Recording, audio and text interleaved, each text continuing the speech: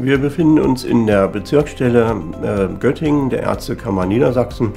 Wir kümmern uns um die Weiterbildung, die Fortbildung der Kollegen, haben hier das Meldewesen, dass also die Kollegen, die sich durch Umzug hier neu anmelden oder auch ehemalige Studenten, die dann Arzt geworden sind, sich hier in der Bezirksstelle anmelden können. In erster Linie werden alle Angelegenheiten, die MFA betreffend und der ärztlichen Kolleginnen und Kollegen bearbeitet. Also es ist viel Telefonate durchzuführen, ähm, viel Büroarbeit, aber ähm, es sind auch genauso Besprechungen mit allen Mitarbeitern und Sitzungen äh, zu organisieren und zu planen.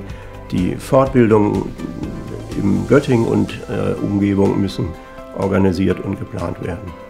Die Bezirksstelle gibt es, um auch die Kollegen vor Ort zu repräsentieren, also Lokalität äh, mit einzubringen. Ähm, die meisten arbeiten ja hier im Raum Göttingen, 4000 Kollegen, die äh, zur Bezirksstelle gehören.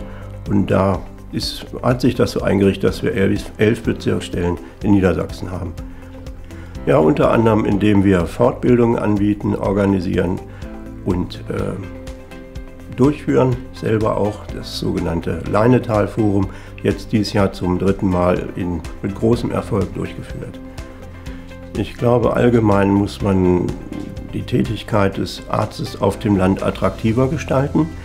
Andererseits kann ich auch sagen, soweit ich das weiß, dass hier im Raum Göttingen die Landarztpraxen immer auch wieder besetzt werden können.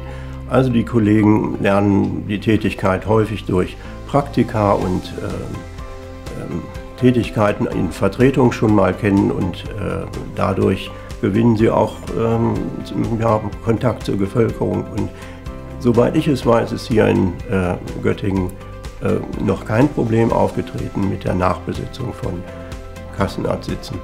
Eigentlich würde ich mir wünschen, dass das so auch in dieser Form fortgesetzt werden kann.